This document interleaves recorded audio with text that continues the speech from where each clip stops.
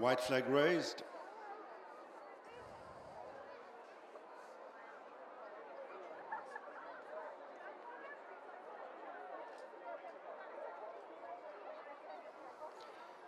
Thereof in the second division of the Irish EBF Mares Bumper. Again over two miles. Up front it's Aeroplane Peggy, who's showing in the lead. Heading up the back straight, followed by Scarlet Witch.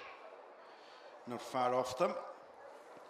Lorraine's Katie on the inside of Kilbarry Merlot. They're tracked by Eabha Grace, the diamond colours white cap. And then Sunshine Girl as they swing a right to head across the top section of the track. Aeroplane Peggy shows in front of Scarlet Witch, Kilbarry Merlot in third, and then Eabha Grace and the nose bandit Lorraine's Katie on the inside of Sunshine Girl. Churchtown Ruby next the outside of Katie Parnell and then Art Monarch. And at the rear of the field, Saratoga Lass. Turning in to head towards the final mile and a half, Aeroplane Peggy, Joey Dunn, two in front of Scarlet Witch and Lisa O'Neill. And then Eabha Grace and Jody Townend. Kilbarry Merlot, John Gleason the inside. And then Sunshine Girl and Lorraine's Katie. Continuing in the straight, And it is Aeroplane Peggy, white and red, showing the way to Scarlet Witch, Eabha Grace, as they come up to the 50 yard marker. Circuit to go in the final race of the pre Christmas meetings.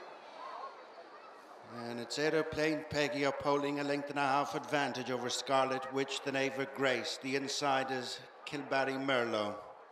One that's picked up ground on the inside, Art Monarch, then Sunshine Girl. Lorraine's Katie next on the inside of Katie Parnell. Churchtown Ruby is one behind Saratoga Lass.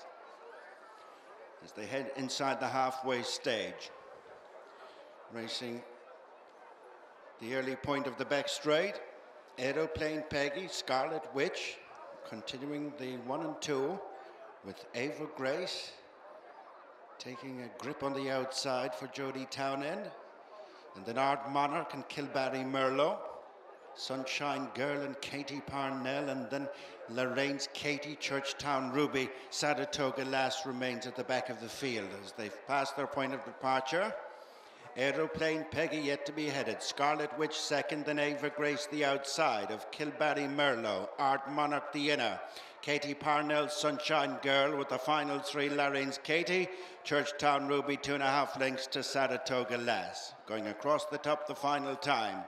Five and a half furlongs to go, and it's Aeroplane Peggy still with the lead, with travelling up kindly on the outside, Eabha Grace, and between horses is Scarlet Witch, then Art Monarch and Kilbarry Merlot, Lorraine's Katie and Sunshine Girl, reminders for Katie Parnell, and they're tracked to the straight by Churchtown Ruby swinging in in the second division of the EBF Mares Bumper. Aeroplane Peggy is headed by Eabha Grace with in the center the Scarlet Witch, Kilbarry Chloe.